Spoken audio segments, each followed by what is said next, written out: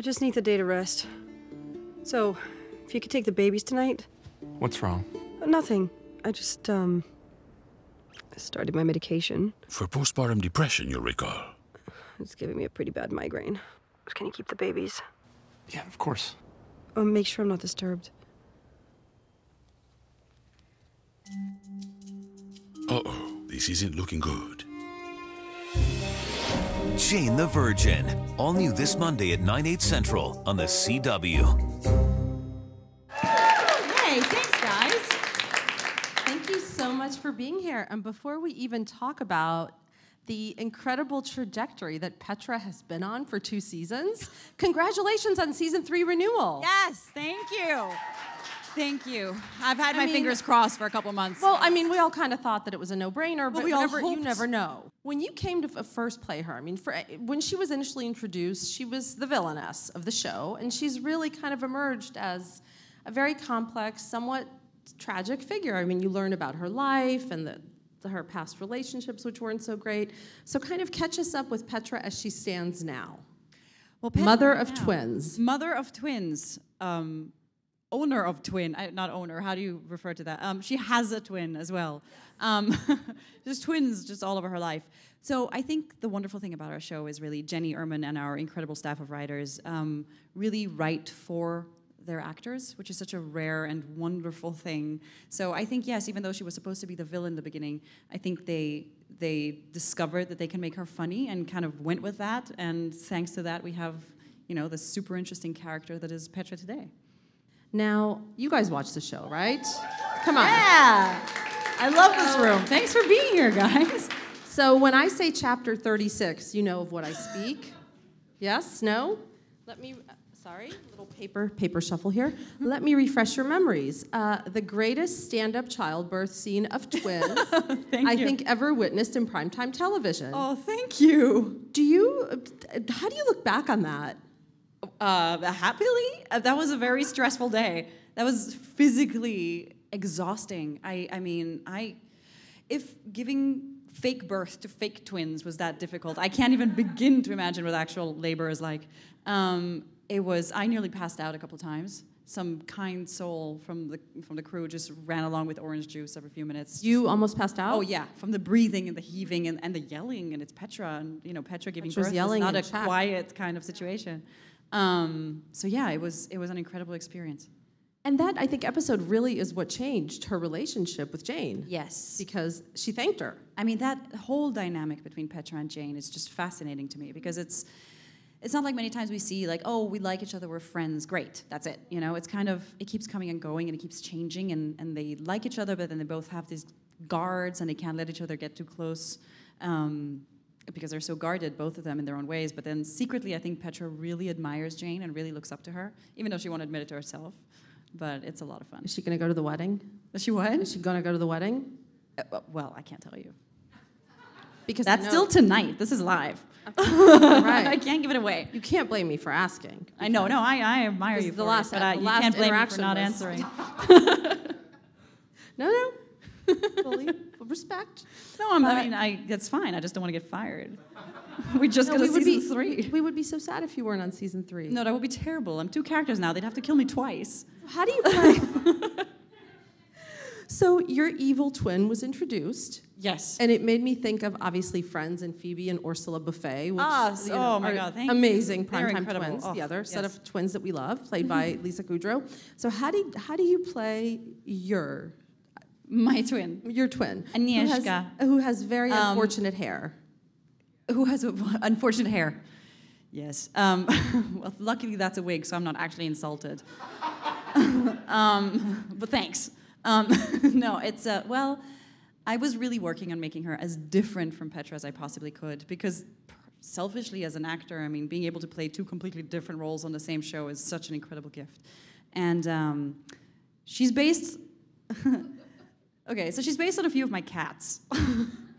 she's got this personal space issues and she jumps backwards and yelps and scratches. I don't know if you guys saw that yet, but so so I have a I call it getting to fear. So I feel like she gets the fear. She's kind of like when anything moves. Um, so yeah, it's amazing, and I, I really love playing both her and Petra in the same scene when other people are there as well, when there's more characters, because I get to show them reacting to things completely differently, which is a Technically, how do you do that? Because you're acting against yourself. well, I have an incredible uh, double called Barbie, who is a genius, seriously, and she just remembers everything I do and all my body language. And there's someone reading the opposite lines. But what I did realize, and I didn't think about it because I didn't know how this works. Uh, so you have to come so um, prepared for the scene. You have to decide in advance how each character reacts and how they, you know, because if I'm playing one character now and you're the double, for example, then I have to be reacting to things that haven't happened yet. It. So it's complicated, but it's it's a ton of fun. What was your reaction when you found out that you had a twin and she was coming on the show? Well, I found out when I got the script. I thought Petra was running away, just like the audience would have. You had- You had no idea? No, I didn't know. Oh, wow. I was like, why is she dyeing her hair? Now I gotta, uh, like, what? Is she running away? Are they writing me off the show without talking to me? And then suddenly the twin showed up, and then that was, that's how I found out. Of all, just like everybody else. It was great. of all the twists and turns that Petra has had on the show, which one shocked you the most? Um, the the twin would be a big one because it's a whole the new character. Um, but the uh, huh, that's a good question. Everything in Jane the Virgin, you can't pick one thing. There's just, I mean, every single episode has so many cliffhangers that you're just, you know, left kind of mouth open and in shock. And it's such the show is so fascinating because it's it, it, it just takes like real life and, and makes it so Enhances quirky it a bit, enhances it, right? yeah. I know. It's just and everyone is so relatable on it. And I mean, you guys know that she named her twins Anna and Elsa. Without knowing it had anything to do with Frozen. And actually, and actually mocked Jean, uh, Jane when Jane was like, uh, maybe that's a bad Uh, idea. She was like, "Oh, it's so funny," and Petra's like, "What?" The only one that'll think of that. But you know that I didn't know it was from Frozen either. Like it totally fooled me as well. I was like, great names. And they're like, you know what the joke is here, right? I was like, no. great. Yeah, I know. I'm the last one on Earth. Um, so, so yeah. Uh, uh, what I really love about our show is that um, really down to earth characters, basically, but they're thrown into these telenovela, larger than life, crazy situations. So it's kind of like watching you and I have to deal with, you know, an accidental kidnapping. Yeah, or being held hostage by your and so fan. that's where the comedy lies. I mean, it's it's really putting people in a position of like, how do these telenovela situations even happen, and how do we deal with them? So that's and Petra specifically takes everything so seriously. She doesn't think anything's funny, and uh, so I think that's what's funny. when you signed on to do the show, what about Petra resonated with you? Well, in the beginning, I was worried about playing a villain, but then the minute I got on the phone, I mean, I loved the script, especially the, the Latin narrator. I thought it was just completely genius. And then um, I got on the phone with Jenny, our creator, and and she had explained to me a bit of what's in store for Petra, and you know that she's never going to be one thing. She's constantly you're going to hate her, you're going to love her. She's going to be vulnerable, but she's also the villain. And I just thought it was so incredibly interesting. And and I think she went from being three dimensional to being seven dimensional over the past two seasons. And it's so funny too because I mean I remember when we first you know when read about the show being picked up, we were like Jane the Virgin, come on, like, come on, that's a cute title, but really, Then when I read the premise, I was like, yeah, exactly, like really, and it's evolved so much into this like workplace family comedy series. Where do you want to see Petra go in season three? Have another set of twins? just keep having babies. No. Um, so the funny thing is, I always want. I'm torn because as well, I consider Petra kind of a friend, like a bizarre friend, but a friend at this point. She's someone I've kind of lived with for two years. I want her to be, you know, live happily ever after and have this happy life and find somebody who loves her and, you know, have some friends. But at the same time, as an actor who's playing Petra, no, you want her to keep being interesting. So uh, it's two different parts of me. I don't know. do you think you could be friends with Petra? I could be. Really? Sure. Yes, absolutely. I mean, I want to kill her every once in a while, but not agree with her decisions. But I think she needs someone who kind of puts her in place. And I think Jane actually does that. I think that's part of why she she wants Jane in her life. Now, what is it like working with Gina?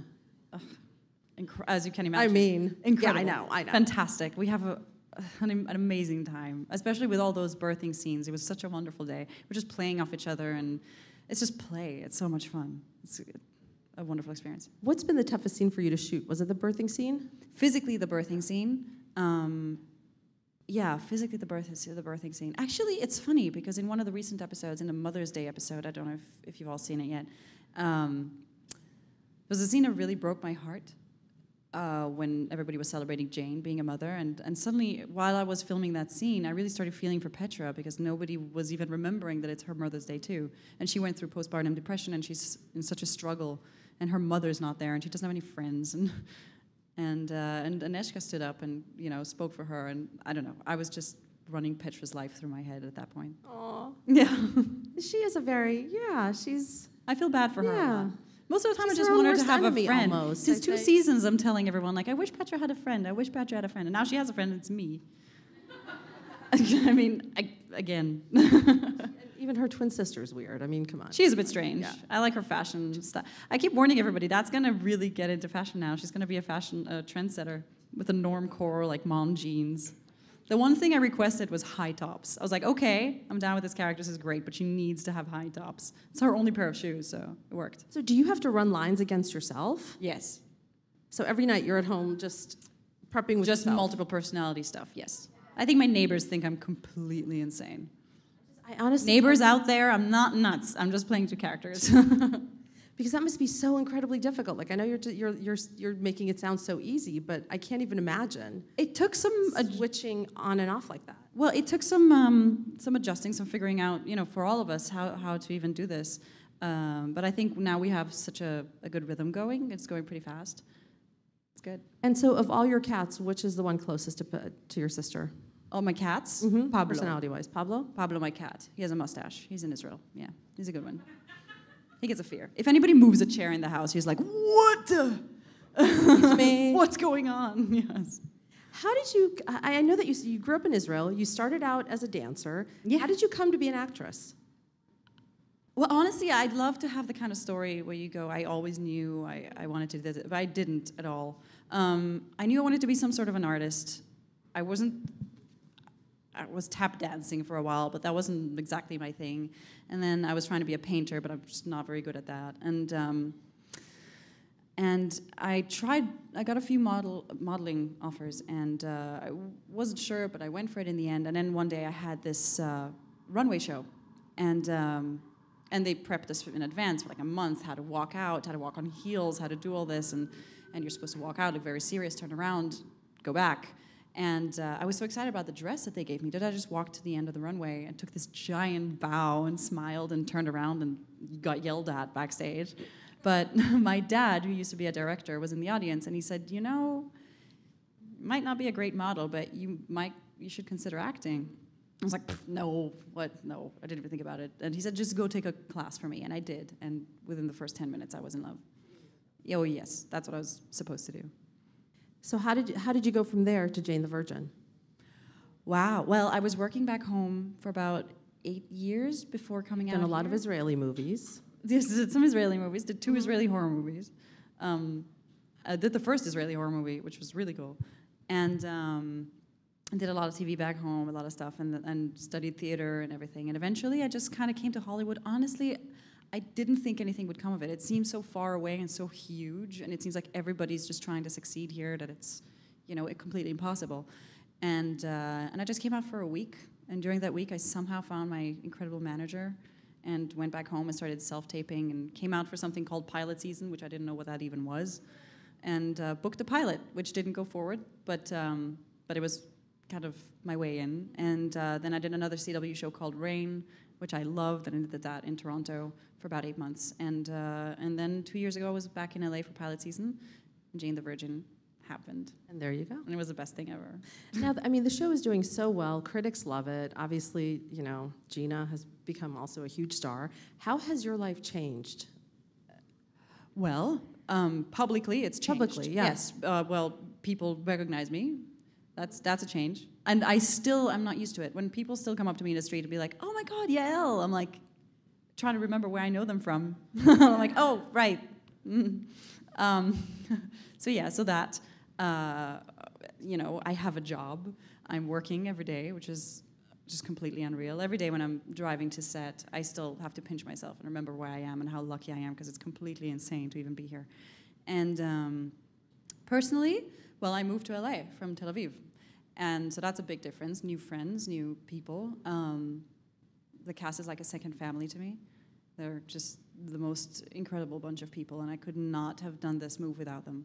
And uh, and yeah, but I, I mean, honestly, I, I would love to say I'm living the wild Hollywood lifestyle. I'm not. I crochet, I cook. Just, yeah, no crazy lifestyle. No, I was just I was just curious because with a show this hot, I was like, I wonder if there's been a huge sea change just in the way you know that you have to behave in public or anything like that.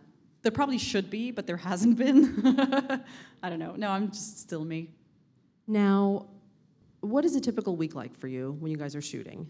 A typical week. Um, well, now that I'm playing two characters, I definitely work double. Um, I hope they pay you double. that would be nice. Um, at usually Monday morning start at like 4, 4.30 a.m. Uh, so it's a long week. We work long hours. We can work 16 hours. Yeah, working almost every day, coming home, cooking dinner, that kind of stuff. Doing your thing. Doing my thing. What of um, Petra's qualities, which of her qualities resonates the most with you? We look similar. Um, I love that she's assertive. That's something that actually, over the past two years playing Petra, I've learned more about myself and, you know, started to kind of work on that in my own life. So that's really cool. That's actually awesome that that rubbed off because Yeah, right? That's something thing. about her. Like she's assertive and she's unapologetic Yeah. for who she is, which I really think you don't see a lot of. And especially this past season, with her being able to tell Rafael, like, I'm not a second choice. I'm, I deserve better. I, I was so proud of her for that, you know? She's come such a long way. She's had this series of really unfortunate relationships and this terrible relationship with her mother. And, um, and yeah, she's finally believing in herself. and now this, the finale's coming up. What can you say? Anything? Well, the interesting thing is, I got asked recently what the cliffhanger is going to be like. And my only answer is, do you really think Jane the Virgin would have only one cliffhanger? it's going to have like 10. Every episode has a, a yes, exactly. So many. I mean, we all I can say without giving anything away is we had the table read, and we all left. The entire cast was just like completely speechless, and then kind of grabbing each other in the hall, going, "Did you did you see that coming?" And everyone's like, "No." I mean, our writers are so brilliant because I consider myself a pretty creative and imaginative person, but they write things that I could never see coming. I could never, even in my wildest dreams, imagine that. And they make it so realistic and so grounded and and such a good build up to it that it makes sense. I mean, they're seriously outstanding. And so each character will have something Oh, yeah. juicy. Oh yeah, yeah, yeah. Do To not worry. with. Yes, absolutely. How much do you guys weigh in on the plot points? Weigh in. We don't find out about it until about the day before we start filming. It's like scandal. Like until, until Oh, the is it like read. that? Yeah, you don't actually know. We don't know. But that's the great thing. We get to find out all together at the table reads. And then our table reads are really loud. But we're a pretty loud cast. I think we were the pretty we were the loudest table at the Golden Globes. I'm sure we're getting the stink eye for some other casts. Wait, wait, wait. Now we have to discuss this. Uh, go ahead. Partied the hardest at the Globes? We partied the hardest. No, oh, we nearly at your table. At your table. Oh, who did? Yeah. Oh no, it was all of us. It was you. united. Yeah, yeah. No, we nearly flipped the table. When Gina won, all of us stood up. We're like, rah! Are you kidding? That was actually one of those super, super cool moments when she won. Oh, I mean, come on. Oh no, it was. I mean, beyond anything. We could, it, just being there was ins- I could. It was. Where am I? Like, what's happening? And then the, my friend won a Golden Globe. It was beyond anything I could have even imagined. Yes, and very well deserved. Beyond, beyond well deserved, because that Yes. is a difficult Absolutely. role to play. Oh, absolutely. And do it without like schmaltz and and and No, no, you know, completely like, honest, yeah. completely real. Now, before we turn over to the audience, I know that you crochet. Yeah, well, I- read, well, you said that, and I've read Yes. that. What's been the most impressive thing you've ever made? Hmm. Feel free to brag. Slippers. Yes, I made slippers pretty early on too. But now I've been working for like months on this blanket. It's never end. I think it's gonna be the longest blanket in the world. What, Is it like a kaftan or? I don't know what that is, but maybe it's a. It's it's got stripes. It's like a, a mm-hmm. throw blanket. Is it like your Zen occupation in between shooting? Oh yes, yeah, absolutely. I'll take it to set, or I'll I'll be listening to an audiobook and just doing that. That's fantastic. Slippers are pretty impressive, though, especially if you if you I did should have worn them. You should have worn them. I mean, that would be a little whatever. I should have. They're, they're my greatest work. I mean, they do come apart slightly. So if I, would, I could have worn them like pull the string and just like be barefoot. How did you start? Crocheting on the show, like everything I've been doing recently. They give Pet- Petra this really cool stuff to do, like crocheting, playing the I violin. know, I know she crochets. I thought she crocheted because you did, not no, vice she versa. crocheted season one. She was crocheting a little beanie for the first time she was pregnant. There was a flash pack, and they just gave me like a hook and some yarn, and they were like, "Go for it!" And they taught me how to do the basic stitch, and I could not put it down. And like the the poor sound guy came to wire me, and I was like, "Nope, you're gonna have to work around this." And I was obviously didn't know what I was doing, so I was like a big ball of yarn. I was like, could not put it down the entire day. And then the next day, I was like, well, first of all, I annoyed our props guys because I just like stole that home. They're like, no, we, we need that. so I went and I bought myself some yarn. Um, and I've been doing it ever since. Same with playing the violin. I've been taking lessons ever since when they let me play the violin. And I just assumed that they wrote your life into Petra's. But I kind of like I mean? it better this way because it gives me all these new skills. I mean, I'm going to be speaking Czech in like no time. But, well, you were actually in the childbirth scene. Well, yes. I, Those well, were some very choice lines. Thank you. what was it like? Throw yourself in the field and die? And I'm totally paraphrasing. what was it? Was it like go into the forest and uh, soil yourself? Yeah. I don't remember. You have a mouth, the mouth of a. I don't remember what it was. Yeah, it was something creative. It was I- amazing. yes, no, no, Yeah. it was hysterical. All right, Jane fans, hit it with some questions. Hey guys. Hi, you. Hi. Thank you for being here. Um, if Petra and her twin had their own spin-off series, what would the title be and the premise? Tyler would be petrified. Did you just think of that? No. but I should have That's said yes because that would have been really cool. No, I've been telling Jenny that since season one. I'm like Petra's spin-off is petrified. Um, uh, Tyler would be petrified, and this the premise would be them raising twins in an apartment and trying to get along and trying to get Aneshka to like fit into the world. Yes, it would be a comedy, not a drama. That wouldn't work at all. Yes, thank you for the question. Hi, thank you for being here. Thank you. Uh, if you, what's your favorite all-time sitcom, and uh, uh, which actress, uh, which, which one of your favorite actors would you like to work with with that favorite sitcom? Ooh. My favorite sitcom probably would be Friends. Yeah. Actors, all of them. I wish I, could- Friends still existed and I, I could just show up as Petra. You imagine a bar brawl between Phoebe and Ursula and Petra and, And Agnieszka Aneshka. That would be Oh. the best episode of at the um, Petrified. the what was the coffee shop called? Peach Pit. No, no, no, no. That's 90210. Oh, Um, um, Central Perk. oh God, right. Like, and 90210. Did they have any twins? No.